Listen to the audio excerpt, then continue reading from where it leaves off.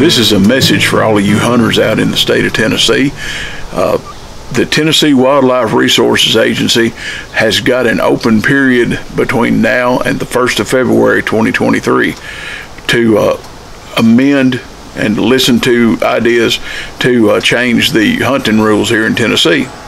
There's one certain rule change that has been proposed by the uh, different gun owners groups here in Tennessee. They've been pushing for for about 15 years, and they can't ever seem to quite get it over the top. You've got to get the bureaucrats to listen to you and to make them realize that there's enough support out here so this will be a viable thing to do. And that is there are some proposed changes to the uh, deer hunting laws in the state of Tennessee that I think are quite uh, reasonable and very much needed. The first proposed rule change is very simple and it's something they should have been doing all along. It's basically just to allow, once archery season is over, then uh, landowners can use their uh, handgun or rifle of choice to hunt on their own land. That's a simple thing. It's intuitive. It's amazing that we don't have that already, but that's the first of the proposals that they've got up for this. The second proposed change is to change muzzleloader season to a quote unquote primitive weapons season, which would allow the use of straight walled cartridges in rifles and handguns as long as that cartridge is greater than 35 caliber and that the cartridge length is less than 1.8 inches. Something like that would be perfect for uh, a Thompson Center contender such as this. This is a 45 Colt with a 10 inch barrel, a scope on it. Uh, I've loved contenders for 40 years. I've been using contenders since about 1982, and uh, they're just wonderful. I love single shots, and I've always loved hunting with handguns. This proposal would allow us to do that with much more freedom.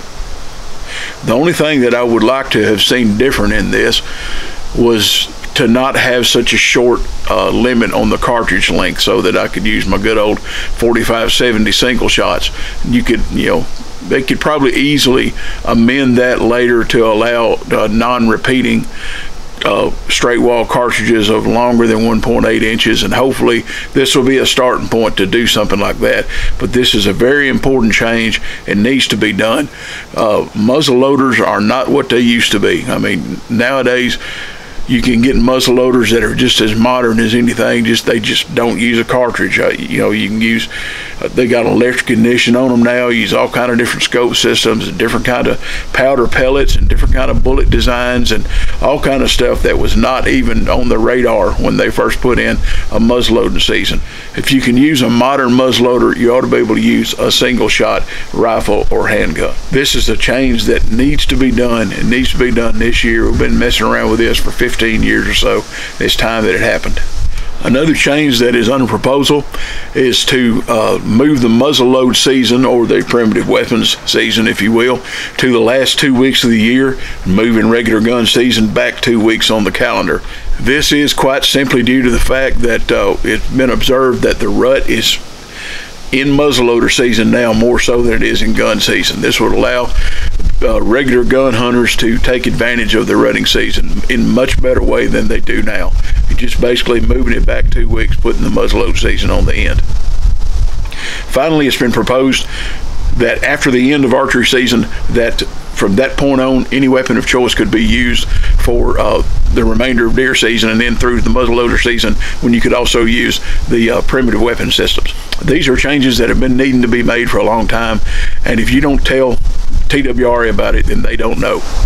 To do this, please send an email to twra.huntingcomments at tn.gov. This will let them know how you feel about the issue, and if they see enough public support behind this, they will make the changes. And if they know how you feel about the proposed changes, if they hear from enough of us hunters, then they'll know how they need to react to it and they'll do the right thing. Thank y'all for watching. Thank y'all for considering this. Thank y'all for contacting TWRA, letting them know how you feel. God bless you. And as Charlie Daniels used to say, ain't it good to be alive and to be in Tennessee?